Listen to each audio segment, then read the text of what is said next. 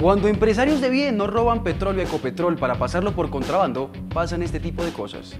Logramos el segundo mejor semestre en la historia de Ecopetrol. Avanzamos en resultados operacionales, gestión comercial y en finanzas. Mostramos resiliencia y compromiso con el crecimiento del grupo en un entorno desafiante. El año anterior teníamos una producción promedio diaria de 698 mil barriles de crudo. Hoy estamos reportando el segundo trimestre un histórico de 728 mil barriles por día promedio, pero en el acumulado del primer semestre 724 mil barriles diarios de producción de crudo. La segunda línea es quizá la más relevante. Hace un año estábamos con un precio del crudo del orden de 105 dólares el barril. Y hoy estamos en un promedio de precio de referencia internacional de 80 dólares el barril. No obstante, los resultados en términos de la contribución de riqueza, en términos de los ingresos, el año pasado, al primer semestre, los ingresos fueron de 76.4 billones, hoy estamos hablando de 73.2 billones. Además, estamos hablando de un EBITDA en el primer semestre del año 2022 de 38.2 billones y un EBITDA de 32.4 billones en lo corrido del primer semestre de 2023. Y referente a lo que mencioné al principio respecto a la investigación que hay en contra de 17 empresarios de bien que robaban petróleo a Ecopetrol, Ricardo Roa, el director de Ecopetrol, mencionó que hasta el momento, según se adelantan las investigaciones, no se conoce que ningún funcionario de la institución, al parecer, haya participado en esta red criminal. Un cúmulo de empresas, nosotros hemos tomado las acciones que corresponden primero la terminación de esos contratos con las personas que han sido reportadas por las autoridades han tenido alguna participación. Lo segundo, decir también, como ya lo he anunciado en algunos medios, en Ecopetrol, producto de estas investigaciones, no se ha determinado por parte de las autoridades participación de funcionario alguno, con excepción por allá de un pensionado que desconozco la historia, pero que entiendo tiene alguna participación o tuvo en su momento alguna participación en este entramado. Obviamente cualquier barril de crudo que le roben o le hurten a Ecopetrol es un fraude a la nación y por ello nosotros las medidas que hemos implementado son prácticamente tres. Continuar la auditoría forense, mantener internamente un alto equipo que contribuya en la entrega, en la información al día a las autoridades que están investigando a través de las ADES y también la incorporación de mayor tecnología para evitar estos hurtos y esta defraudación de fluidos al sistema de Ecopetrol. Y así es como operaba esta red criminal que robaba petróleo a Ecopetrol para pasarlo por contrabando. ¿Qué parece? Supuestamente los empresarios de bien de Ecopetrol le pagaban al ELN el petróleo que ellos robaban del oleoducto Caño Limón Coveñas en el norte de Santander. Supuestamente esos respetados y multimillonarios empresarios al parecer lo que hacían era pagarle al ELN para vender después este crudo de manera clandestina. Y no contentos con eso, lo que también hacía era traer el crudo que estaba de mala calidad desde Venezuela para mezclar mezclarlo aquí en territorio colombiano y después venderlo. Son al menos 17 empresarios los que están involucrados en esta red criminal que sacaba un millón de barriles mensuales para ganarse 10 millones de dólares. Estos barriles que sacaban al parecer eran transportados con empresas legítimas. ¿Y saben qué es lo peor de todo este entramado de corrupción? Que esta red criminal operó en el gobierno de Iván Duque desde febrero del 2019 hasta abril del 2022.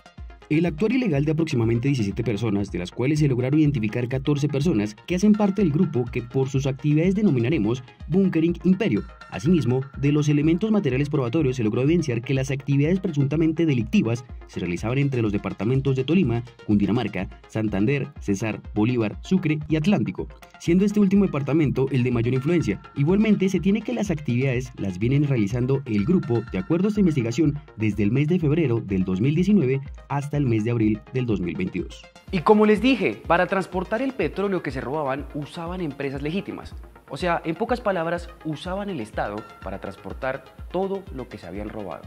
Para las operaciones de comercialización, este grupo de delincuencia organizada realizaba la distribución ilegal de hidrocarburos utilizando la cadena de distribución legal estructurada por el gobierno, es decir, bajo la misma línea legal de distribución constituida por el Ministerio de Minas, sociedades comerciales con objetos sociales amplios en el ámbito de hidrocarburos donde sus representantes legales y propietarios implementan estrategias y modalidades que le permitan la comercialización burlando a las autoridades de control como son tránsito y transporte, GOES hidrocarburos, Minminas y Sijín Hidrocarburos.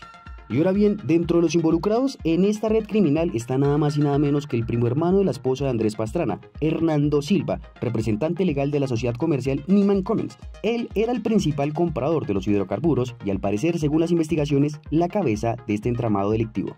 Y así era como operaba su empresa Niman Commerce, la cual, según el escrito de acusación de la Fiscalía, para esos fines la organización ejecuta de manera técnica el contrabando de hidrocarburos, actividad que realizan con el favorecimiento de sociedades que se encuentran al interior de zona franca de Barranquilla y son las encargadas de facilitar la simulación de estos productos haciéndolos pasar por otro tipo de productos, pues en realidad se trata de crudos con calidades superiores a 14 API, los cuales posteriormente son entregados a las mencionadas sociedades para luego ser transformados y comercializados a Gumbor Colombia a través de Niman Commerce. A pesar que el ministerio ha informado que la sociedad Gumbor, en su calidad de exportador de crudo superior a 14 API, solo puede recepcionar crudos que provengan de pozos del territorio nacional, tal actividad trae consigo que la organización cuente con conexiones en diferentes países como Panamá, República Dominicana, Curazao y Venezuela, y esos productos son utilizados para simular el origen mediante la implementación de Bill of Line, que son los documentos de transporte marítimo lo que les permite burlar a las autoridades aduaneras de Colombia, tal como lo hacen con las guías de transporte terrestre, pero a mayor escala. Y estos serían los demás empresarios involucrados. Roger Arturo Gale Gutiérrez era el ingeniero comercial de la sociedad Gumbor Colombia y asesoraba a la organización delictiva para poder dar apariencia de legalidad de los hidrocarburos provenientes del extranjero y además era el enlace con Hernando Silva Bickenmark. Javier Enrique Márquez Santos era el encargado de la parte comercial de las sociedades Petro World Sats, la operadora SAS, y era también el principal receptor de los hidrocarburos que eran de contrabando provenientes de Venezuela y Panamá. Abraham Rincones estaba encargado de realizar las coordinaciones necesarias para importar de manera ilícita o irregular crudos provenientes de Venezuela. Oscar Luis Pastrana Martínez se dedicaba a la comercialización de crudos, es uno de los principales actores de la cadena ilícita y es la persona encargada de maquillar o mezclar los hidrocarburos. Paola Margarita Martínez Sánchez actúa como agente almacenadora de hidrocarburos y sus derivados dentro de la zona franca de Barranquilla. Es una pieza importante para la organización, pues es ella quien realiza los almacenamientos de los hidrocarburos de contrabando. Sergio Fortich Pérez se desempeña como enlace para la compra de crudos y sus derivados desde Venezuela hacia Colombia a través de sus contactos en Panamá. Jaime Fernández Uribe era el encargado de consignar información falsa como aceites residuales para dar apariencia de ilegalidad. Jairo Hernández Vía Cubillos, utilizaba varias sociedades para adquirir hidrocarburos de dudosa procedencia.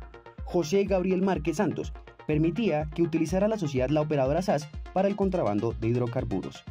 Margarita Delgado de García, teniendo como función o rol la de ser la representante legal de la sociedad Crudensan, esta sociedad ha utilizado su autorización como agente de la cadena de distribución de quemadores industriales.